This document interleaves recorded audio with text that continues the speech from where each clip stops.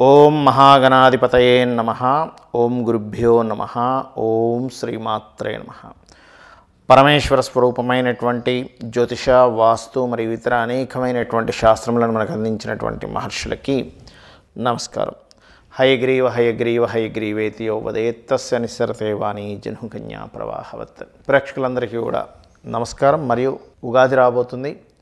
శుభకృత్ నామ సంవత్సర శుభాకాంక్షలందరికీ కూడా ఈ శుభకృత్ నామ సంవత్సరం నుంచి అందరూ కూడా చాలా చక్కటి ఫలితాలు పొందాలని మనస్ఫూర్తిగా కోరుకుంటూ చెప్తుంది నేనైనప్పటికీ కూడా ఈ యొక్క ఫలితాలు చెప్పిస్తుంది సాక్షాత్ లలిత అమ్మవారిగా భావిస్తూ ఆ నవగ్రహాల యొక్క అనుగ్రహం మీ అందరికీ ఉండాలని చెప్పి కోరుకుంటున్నాను.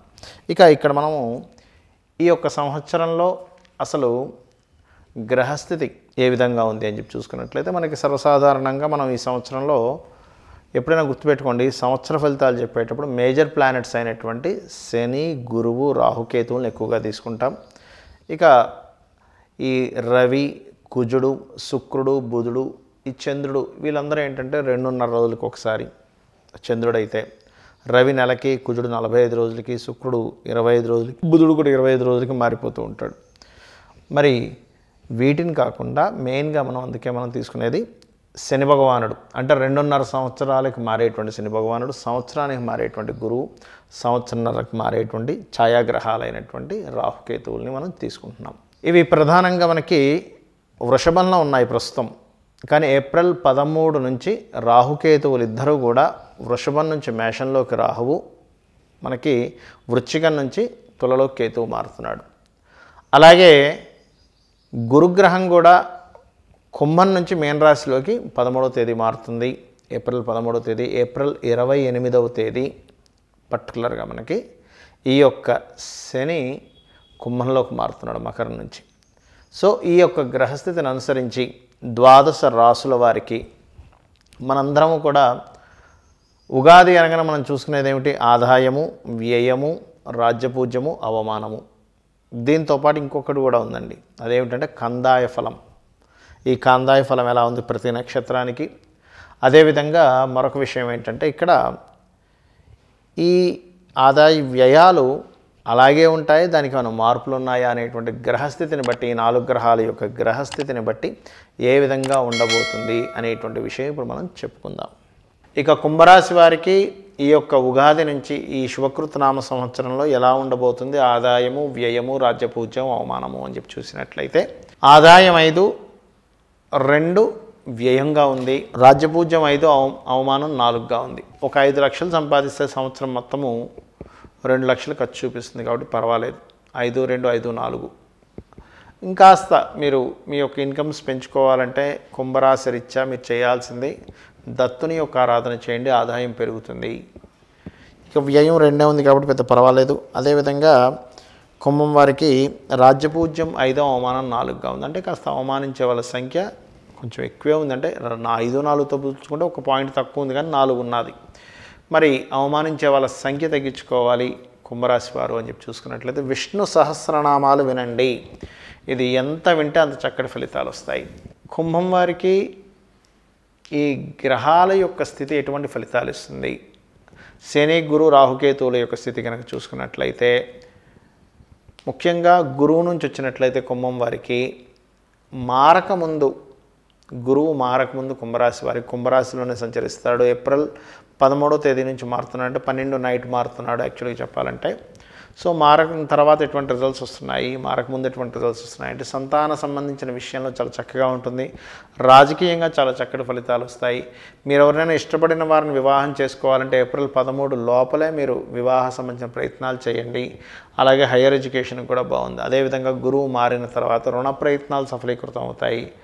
మరియు షేర్ మార్కెటింగ్లో చక్కగా కలిసి రావడం జరుగుతుంది. అదేవిధంగా మారిన తర్వాత మీకు ఉద్యోగ అవకాశాలు చాలా చక్కగా వస్తాయి. ఏప్రిల్ పదమూడు నుంచి ఉద్యోగాల విషయంలో కొత్త ఉద్యోగాలు రావడం ఉద్యోగంలో ఎదుగుదల అనేటువంటి స్పష్టంగా కనిపిస్తుంది. అలాగే శనికేతువుల యొక్క స్థితి వల్ల కాస్త ఆధ్యాత్మికమైనటువంటి ధోరణి కొన్ని కొన్ని విషయాల్లో ఏదో తెలియని ఇంట్రెస్ట్ లేనట్టుగా ఉండడం ఇటువంటి ఫలితాలు ఇస్తుంది. అదేవిధంగా మూడో స్థానంలో ఎప్పుడైతే రాహు సంచరిస్తున్నాడో ఇక్కడ కొంచెం పరాక్రమము సిబ్లింగ్ వరుస వాళ్ళతో కొంత గొడవల్ని సూచిస్తుంది. కాబట్టి ఈ యొక్క రాహు తృతీయంలో సంచరిస్తున్నాడు కాబట్టి ఈ యొక్క విషయాల్లో కొంత జాగ్రత్తగా ఉండండి. ఇక మీరు చేయవలసినటువంటి దేవత ఆరాధన విష్ణు సహస్రనామాల యొక్క శ్రవణం చేయండి. అదేవిధంగా కాందాయ ఫలం ఎలా ఉంది ఈ సంవత్సరంలో నక్షత్రాల వారికి అని చెప్పి చూసుకున్నట్లయితే కుంభరాశిలో కనుక చూసుకున్నట్లయితే ధనిష్ట ఒకటి రెండు పా మూడు నాలుగు పాదాలు ఎందుకంటే ఒకటి రెండు పాదాలు మకరంలో ఉంటుంది కాబట్టి మూడు నాలుగు పాదాలు ధనిష్ట. మరియు శతభిషము నాలుగు పాదాలు పూర్వభద్ర ఒకటి రెండు మూడు పాదాలకి కాందాయి ఫలం ఎలా ఉంది అని చెప్పి చూసుకున్నట్లయితే ధనిష్ట ఏడు ఒకటి సున్నాగా ఉంది. అంటే మొదటి నాలుగు నెలలు రెండో నాలుగు నెలలు ధనలాభం చక్కగా ఉంటే ఆఖరి నాలుగు నెలలు మాత్రం కాస్త అవమానాల విషయంలో కొంత జాగ్రత్తగా ఉండాలి. ఎక్కడికైనా వెళ్తే మనం అవమానింపబడతాము అనుకున్నప్పుడు కాస్త జాగ్రత్తను వహించండి. అదేవిధంగా శతవిషము పూర్వభద్ర శతవిష నక్షత్రం వారికి రెండు రెండు రెండుగా వచ్చింది. అంటే సమఫలం ఉంది. అంటే సంవత్సరం మొత్తము కూడా ప్రతి నాలుగు నెలలు తీసుకున్నట్లయితే సమంగా ఉంటుంది. బ్యాలెన్స్డ్గా ఉంటుంది. ఎక్కువ ఉండదు తక్కువ ఉండదు. అలా ఉంది. అదేవిధంగా శతభిషం తర్వాత పూర్వాభాద్ర నక్షత్రము ఐదు సున్నా నాలుగుగా ఉంది. ఐదు సున్నా నాలుగుగా ఉన్నట్లయితే ఇక్కడ ముఖ్యంగా ఏంటంటే మొదటి నాలుగు నెలలు చక్కగా డబ్బులు వస్తాయి తర్వాత నాలుగు నెలలు కూడా కాస్త రుణ సంబంధించిన విషయంలో ఇబ్బంది పడతారు. కానీ తర్వాత నాలుగు నెలలు కనుక తీసుకున్నట్లయితే ఈ యొక్క పూర్వభద్ర నక్షత్రం వాళ్ళకి సమంగా ఉంటుంది. మీకు బ్యాలెన్స్డ్గా ఉంటుంది చెప్పాలంటే. సో ఈ యొక్క కాందాయ ఫలం వల్ల పూర్వభాద్ర నక్షత్రము శతభిష నక్షత్రము అదేవిధంగా ఈ యొక్క ఏదైతే ధనిష్ట నక్షత్రం ఉందో వీరికి ఇటువంటి ఫలితాలు వస్తున్నాయి. మీరిక ఏ దేవత ఆరాధన చేసుకుంటే బాగుంటుంది అని చెప్పి చూసినట్లయితే ముఖ్యంగా విష్ణు సహస్రనామాలు చేసుకోవడం అనే విధాల ఉత్తమము. అదేవిధంగా ఇప్పటి వరకు చెప్పినటువంటి ఫలితాలు ఏవైతే ఉన్నాయో చెప్పింది నేనైనప్పటికీ చెప్పించిన సాక్షాత్ లలిత అమ్మవారిగా భావిస్తూ మీ అందరికీ చక్కటి ఫలితాలు రావాలని మనస్ఫూర్తి కోరుకుంటున్నాను. ఇప్పటి వరకు మనం చెప్పుకున్నటువంటి ఏదైతే ఫలితాలు ఉన్నాయో ఈ యొక్క సంవత్సర ఫలితాలు. ఇవి యాజ్ ఇట్ ఈజ్ ఇలాగే జరుగుతాయా? మన జన్మజాతక ఫలితాలు ఏమైనా సపరేట్గా ఉంటాయా? అంటే ఇక్కడ మనం అర్థం చేసుకోవాల్సినటువంటి విషయం ఏమిటి అంటే మనకి రాశి ఫలితాల కంటే కూడా ముఖ్యంగా మనం చూసుకోవాల్సింది మన జన్మజాతక ఫలితాలే.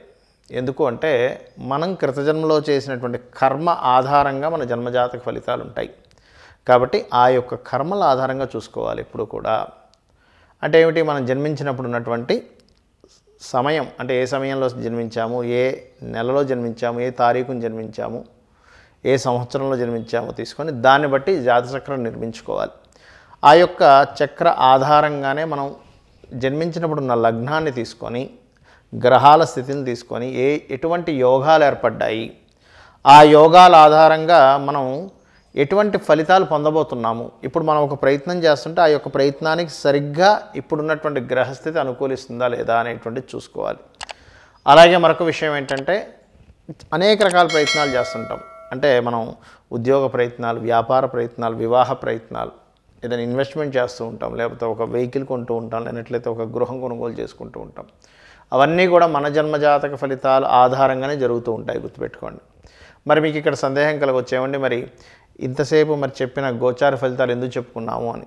గోచారం అనేటువంటిది కాలము వంటిది. ఉదాహరణకు మనం సిద్ధంగా ఉన్నాం బయటికి వెళ్ళడానికి కానీ బయట ఉన్న పరిస్థితులు బాగాలేవనుకోండి ఏ కర్ఫ్యూయో ట్రాఫిక్ జామో లేకపోతే వెహికల్ పాడైపోయి ఉందనుకోండి మనం వెళ్ళలేము అది రిపేర్ చేయించుకొని స్లోగా వెళ్ళాలి. అంటే ఏమిటి? బయట ఉన్నటువంటి పరిస్థితులు గోచారం అనుకుంటే మనంతట మనంగా మన నిర్ణయాలు ఇవన్నీ కూడా మన జన్మజాతకం ఈ రెండు కనుక సరిగ్గా సపోర్ట్ చేసినట్లయితే మన పని సునాయాసంగా అయిపోతుంది. బయట ఉన్న పరిస్థితులు ఎలా ఉన్నాయి? అంటే ఇటు మొత్తం ట్రాఫిక్ జామ్ ఉంది. ఈ రూ- ఈ రూట్లో వెళ్తే మనం క్లియర్ అయిపోతామని ఎలా తెలుసుకుంటామో? సేమ్ యాజ్ ఇట్ ఈజ్ మనం కూడా గోచార ఫలితాల్లో మనకున్న ప్రస్తుతం కాలం ఎలా ఉంది? ఎటువంటి పరిహార మార్గం చేసుకుంటే మనము మన యొక్క ప్రయాణాన్ని సునాయాసంగా చేయగలము? అంటే జీవిత ప్రయాణాన్ని అని చెప్పేదే గోచార ఫలితాలు. కావున ఇప్పటివరకు మనం చెప్పుకున్నటువంటి ఫలితాలు ఏవైతే ఉన్నాయో అవన్నీ కూడా అమ్మవారి అనుగ్రహం ద్వారా మీ అందరికీ చాలా చక్కగా కలగాలని చెప్పి కోరుకుంటూ శ్రీమాత్రే నమః అందరికీ నమస్కారం దయచేసి అందరూ సోషల్ పోస్ట్ డాట్ న్యూస్ని సబ్స్క్రైబ్ చేయండి మంచి మంచి వార్తలు తాజా వార్తలు విశ్వసనీయత కలిగిన వార్తలు చూడండి Please subscribe to socialpost.news. Hi, I'm Priyadarshi. Please subscribe to socialpost.news. Hi నేను మీ Saptagiri please download social post app Hi, I'm Kashish Vora. Please download Social Post app.